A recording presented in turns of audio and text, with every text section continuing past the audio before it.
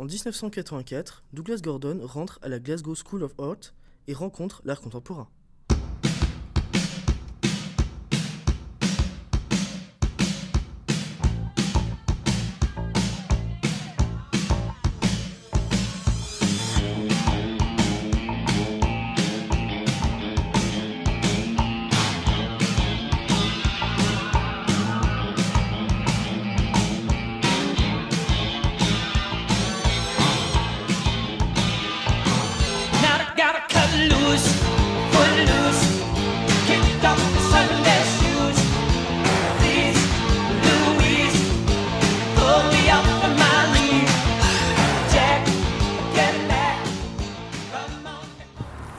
Toi là-bas Moi Oui, toi là-bas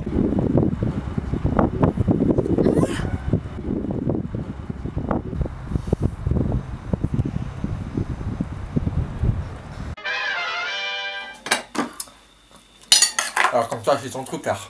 Eh bien oui, j'ai toujours voulu me démarquer des autres en matière d'art, euh, par exemple. Tiens. euh, Non merci.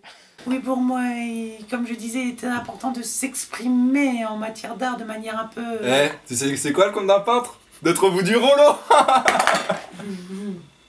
Mais quoi, d'habitude, t'es contemporain?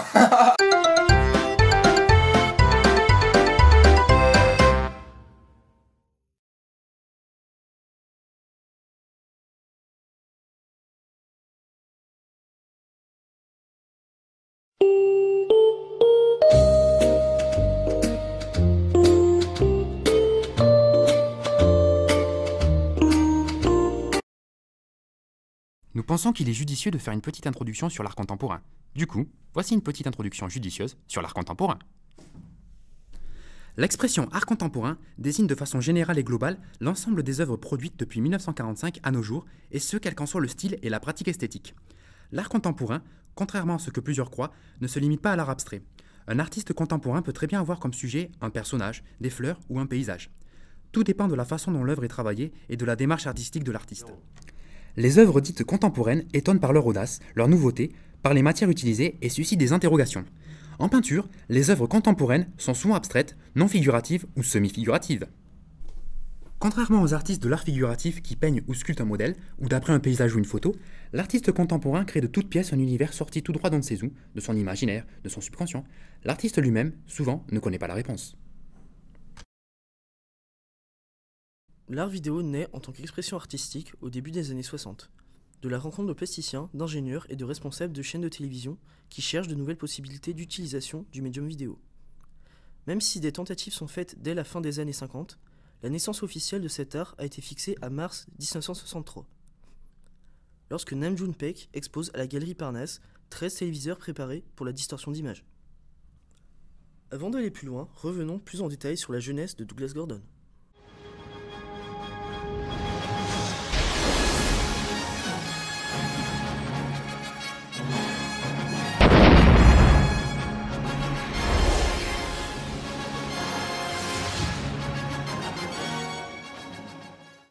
Bonjour, bonjour tout le monde Je suis Douglas Gordon. Je suis né à Glasgow en Écosse en 1966, au terme d'un accouchement qui dura pas loin de 24 heures, ma mère mourant à la couche avant de ressusciter, enfin du moins, c'est ce que je prétends. Mon enfance mêle errance spirituelle à la violence urbaine des faubourgs de Glasgow à la fin des années 1970. Ma mère était témoin de Jéhovah et refusait toute célébration d'anniversaire, et était contre la transfusion sanguine, ce qui me poussera à faire plus tard une exposition Happy Birthday to Me, en perfant 41 étoiles dans un crâne, 41 comme le nombre d'anniversaires que j'avais alors loupé. Et j'ai laissé aussi des traînées de mon propre sang dans certaines expositions. Mes ambitions artistiques me valent de découvrir très rapidement Marcel Duchamp Bonjour, bonjour. et Andy Warhol. Bonjour, bonjour.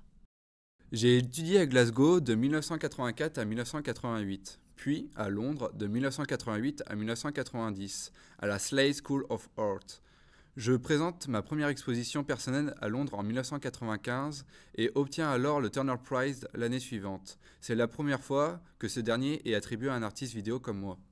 Bien, dorénavant vous savez absolument tout sur ma jeunesse. Au revoir tout le monde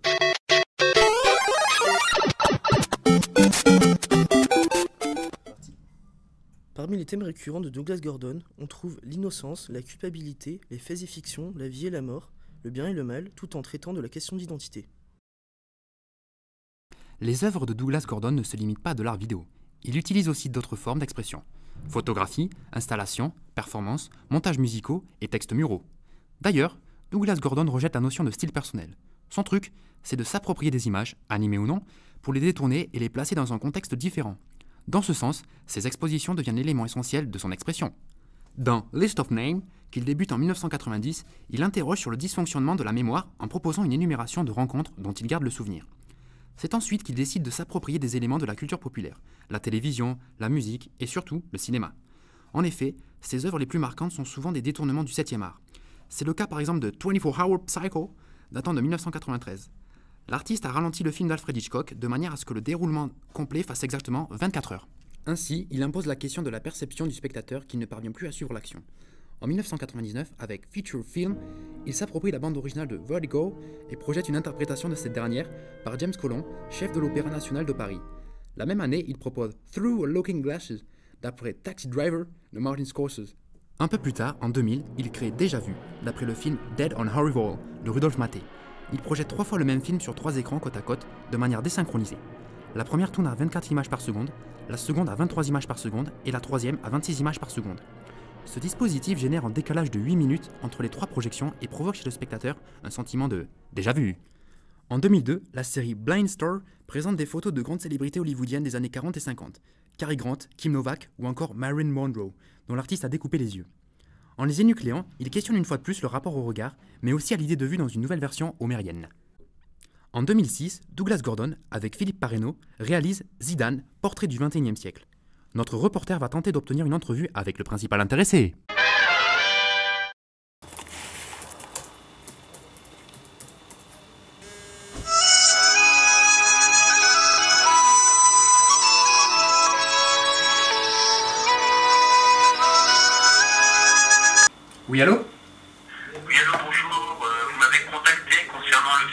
Zidane, euh, un portrait du XXIe siècle.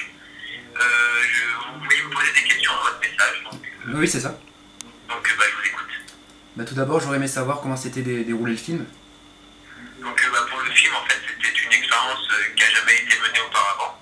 D'accord. Il y avait très exactement 17 caméras qui étaient synchronisées et placées tout autour du stade et elles étaient focalisées sur moi-même. Et euh, c'était à l'occasion du match euh, au stade Santiago Bernabéu euh, de Madrid, opposant enfin, mon club, le Real de Madrid et Villarreal. D'accord. Et euh, comment c'était, comment s'est passée votre relation avec Douglas Gordon? Bah, pour cela, pour plus d'explications, si vous voulez, on peut se rencontrer pour une interview. Banco?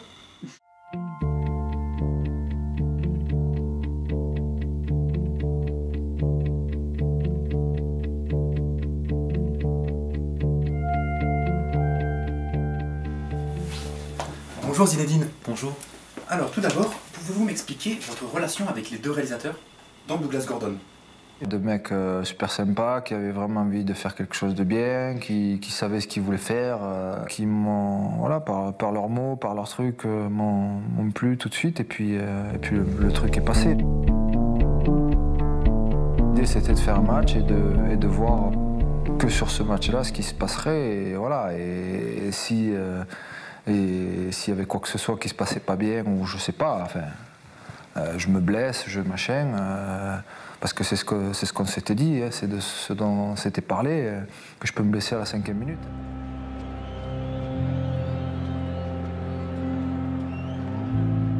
Celui qui me regarde, il aura l'impression d'être quelque part un petit peu, pas dire, mais en train de jouer quoi. Il l'impression d'être sur le terrain, à un moment donné, il va se- le public. euh, les frappes de ballon, les, les- je sais pas moi, le, le- le pied qui marche sur la pelouse quand il n'y a plus de bruit, quand il n'y a pas de bruit. C'est tout ça qui fait que celui qui va le regarder, il va se, il va se sentir à ma place, un petit peu. Eh bien merci de votre gentillesse. Merci à vous. Merci.